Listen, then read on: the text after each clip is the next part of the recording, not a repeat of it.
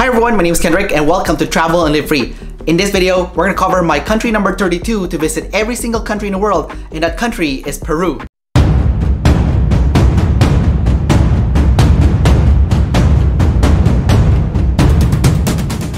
Ever since I was a kid, Peru has always been one of those countries that I've always wanted to go to because when I was in grade 6, I studied Peru as part of social studies. So I got a good idea of what Peru was like, but I wanted to see it in person.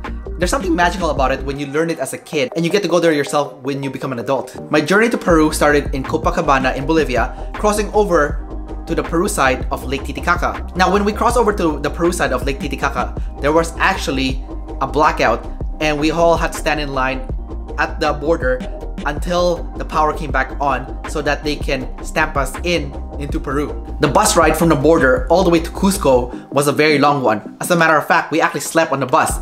We went with a company called Bolivia Hop, which is also the same as Peru Hop, and this company is so good. By the time our bus actually got to Cusco, they even gave us all a complimentary taxi ride to our hotels. Talk about amazing service. I highly recommend the Peru Hop or Bolivia Hop company if you're taking a bus between Bolivia and Peru. Now the bad thing about traveling in Peru is that if you want to see Machu Picchu, it's super expensive. I'll give you an example. Our ticket price to get in Machu Picchu was about $65 Canadian. If we wanted to take a round trip train from Cusco all the way to Aguas Caliente, where the starting point is for Machu Picchu, then it's gonna be about $250 Canadian round trip. Now, when you actually get to Aguas Caliente, then you have to take a bus to the top of Machu Picchu and that round trip bus ride costs about $35 Canadian. So it really adds up and it's not a cheap travel destination. I understand why they're doing it because they want a more sustainable tourism and the more people that can afford it, the less people will go there and they can protect the environment. With that being said, it's definitely not cheap and you definitely want to save money before going to Peru to see Machu Picchu. Now, of course, Machu Picchu was awesome. We did some hiking in Machu Picchu, took a lot of awesome pictures. It's one of my bucket list destinations, so I absolutely love our time in Machu Picchu.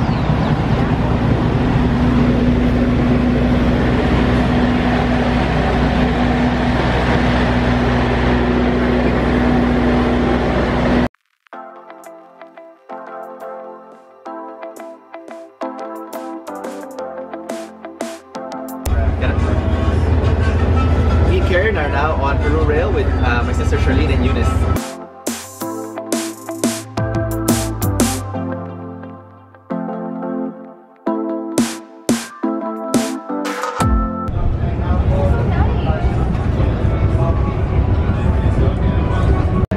Alright, so me, Karen, and my two sisters, Charlene and Eunice, are on the train here in Peru. We're taking Peru Rail. Um, we just got the beverage service right now and in a bit we're gonna get some snacks.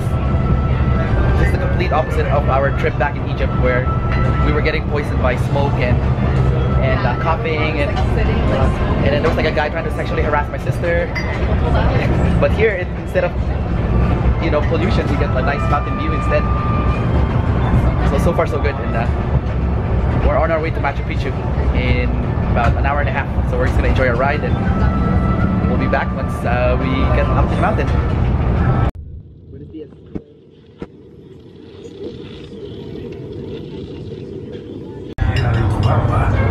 We got the, this quinoa strudel thing. Got some tea and some pineapple juice. I want to throw away this banana. I'm attracting flies.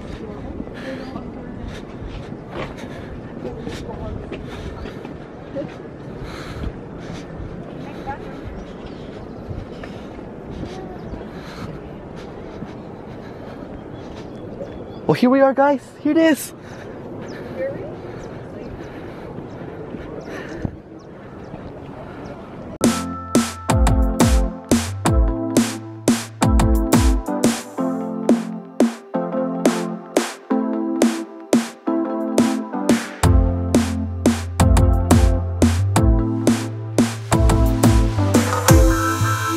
So me and Karen just made it to Machu Picchu. See. So since we uh, started dating, we have always wanted to go here. Yes. And now that we uh, learned some strategies to, uh, yeah, it's been four years, and after four years, we finally made it. Yep. Yeah, we even wrote it in this uh, little journal book that like one of our goals was to, uh, Uh, our goal setting sessions. yeah, was to make it to Machu Picchu, and now we're here. So we're just uh, climbing up right now. and uh, we'll get a better view of Machu Picchu in a bit. Now on Sungate.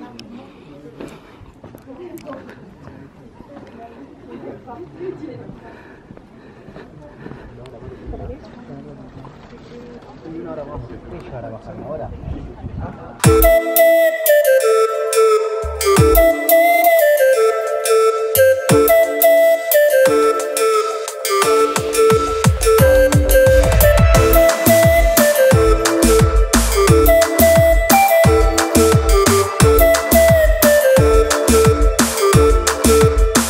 met a guy there that looks and sounds exactly like Seth Rogen. So my sister took a picture with him, just like he, she took a picture with a guy that looks like Kim Jong Un when we were in Bolivia. So it's actually quite fun to go to travel to Peru.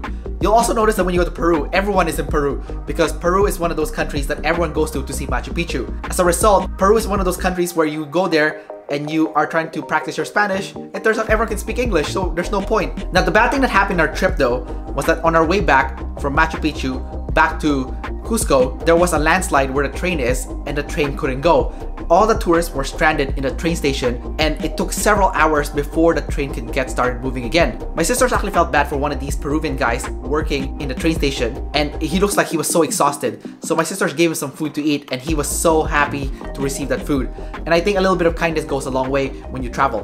We had booked a trip to Rainbow Mountain the next day, but because of what happened, our trip has been cancelled and we had to get a refund the next day. Thankfully, they were able to refund us and just deduct the credit card fee that we had to pay for the trip to Rainbow Mountain. Now, I was a little bit upset that we didn't get to go to Rainbow Mountain, but there's always time in the future to go back there again.